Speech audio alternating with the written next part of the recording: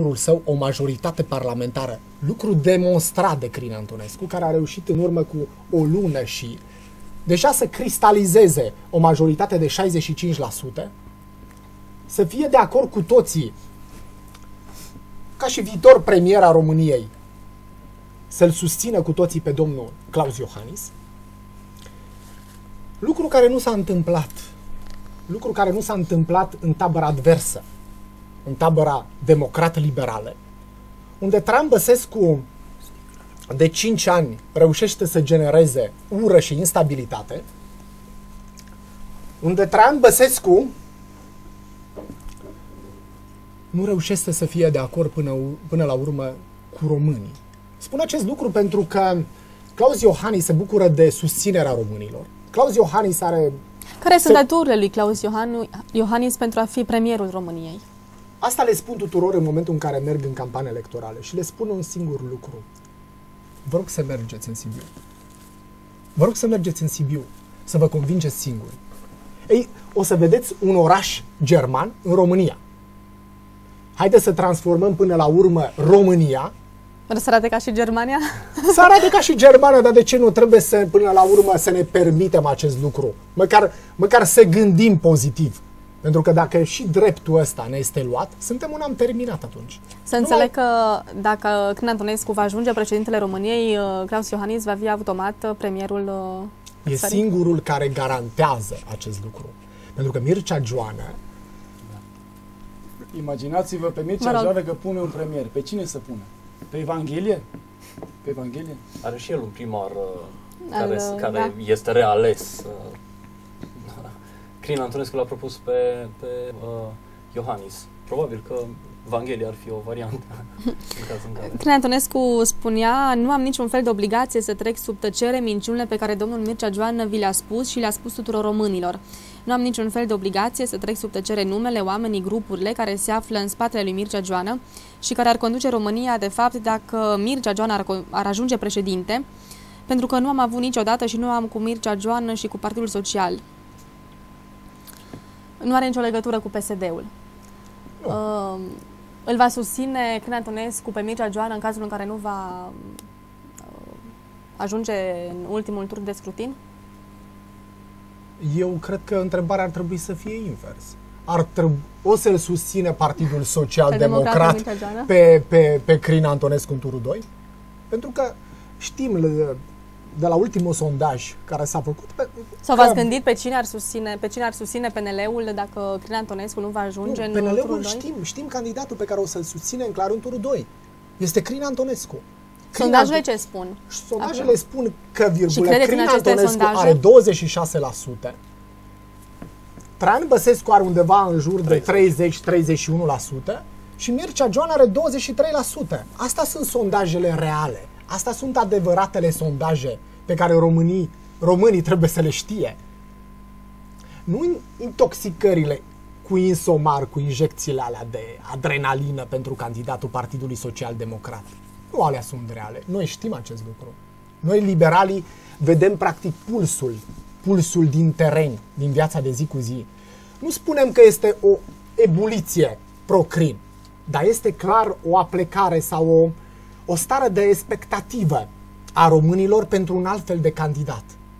Și există un singur candidat care se pliază pe modelul pe care românii îl vor. Crin Antonescu. Ce ar aduce nou Crin Antonescu pentru România față de ceilalți președinți? Vă rog. În primul rând, dacă este să vorbim ce ar aduce nou Crin Antonescu, ar aduce și voi folosi cuvintele sale de la meetingul uh, de astăzi, ultimul meeting electoral pe care l-a susținut la Timișoara. Va fi primul președinte de după 89 care nu a făcut parte din Partidul Comunist. Uh, este una dintre promisiunile pe care românii și le-au făcut atunci când s-au jertfit. Uh, ce aș, ce aș vrea să subliniez, pentru că mi-ați ridicat mingea la fileu atunci când ați uh, vorbit de uh, declarația președint, uh, președintelui partidului nostru, uh, a, a, a domnului Crin Antonescu, vis-a-vis de uh, faptul că nu are nicio reținere să facă referire și chiar să, să atace aspectele care trebuiesc dezvoluite și punctate vis-a-vis de uh, contracandidatul său uh, uh, de la Partidul, Naț- uh, Partidul da. Mircea Joană uh, este tocmai faptul că el nu duce acest bagaj pe care Mircea Joană îl duce odată din, uh, prin prisma uh, familiei din care vine și doi prin prisma partidului care îl mânuiește din spate. Apropo de, de asta, deci uh, uh, cei care votează Mircea Joană în Bisița, mă gândesc că astăzi uh, oare știu ei că în spatele lui Mircea Joană stă un tată general de securitate? Care probabil că este responsabil de mii de uh, Cred că puțin știu oameni asta. care, care au stat în pușcării sau care au suferit din cauza acestui tată. Uh, care și-a promovat, sigur, băiețelul, un băiețel care nu are direcție, dar uh, împins așa din spate, până la urmă ajunge unde trebuie. Oare o să punem o marionetă a acestui general de securitate în fruntea țării? Vă gândiți voi cei care a suferit astăzi, în trecut, prin părinții voștri sau prin uh, neamurile voastre, vă gândiți voi să votați astăzi un președinte care a făcut atâtea rele în țara asta?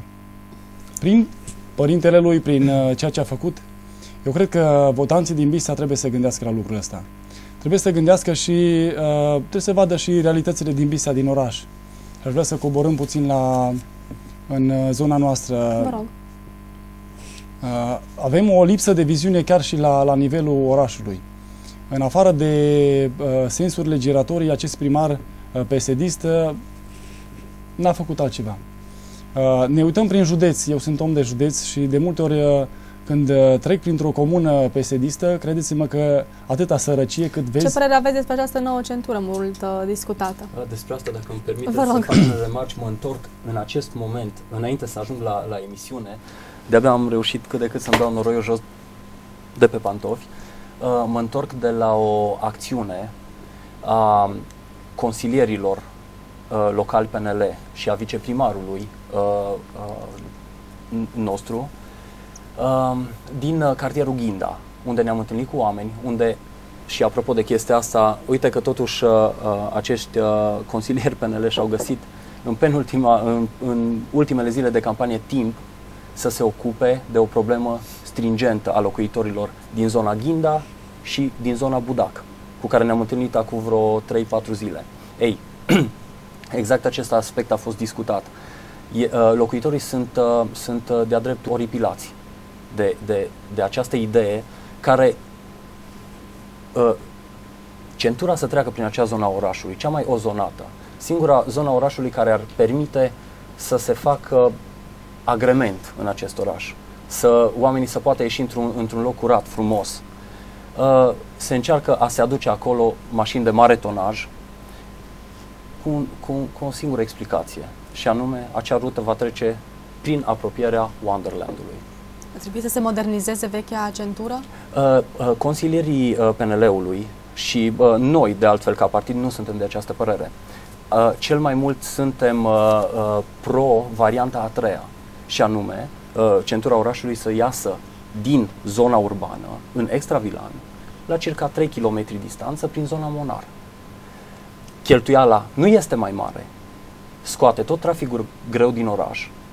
Uh, zona actuală a centurii actuale pe care o avem, uh, din nefericire a fost uh, dezvoltată uh, masiv, chiar și cu locuințe particulare și nu prea mai permite în acest moment să fie transformat. Deja este practic în interiorul orașului. Asta va trebui să devină o arterie importantă a orașului, nu o centură. Dar oricum, este o lovitură sub centură pe care uh, actualul primar vrea să o dea cetățenilor din acea zonă. De ce? Pentru că îi amenință cu ce? Cu un referendum. Ori, din nefericire, el se bazează pe uh, faptul că românilor nu le pasă prea mult. Unii dintr-o zonă îndepărtată nici nu știu despre ce e vorba. Credeți vor că merge. vor merge oamenii să voteze acest referendum? Cred că cei care vor merge vor vota uh, inconștient sau vor, uh, uh, și mașina, să nu uităm că mașina PSD-ului este una bine unsă. Ori uh, e suficient să-i aducă pe psd să voteze și să treacă o asemenea chestie care ar fi deosebit de, de în, uh, uh, detrimentală locuitorilor acelor zone. Oameni care de o viață locuiesc acolo. Casele alea nu sunt capabile să, să facă față unui asemenea trafic. Domnule Dola, vă rog.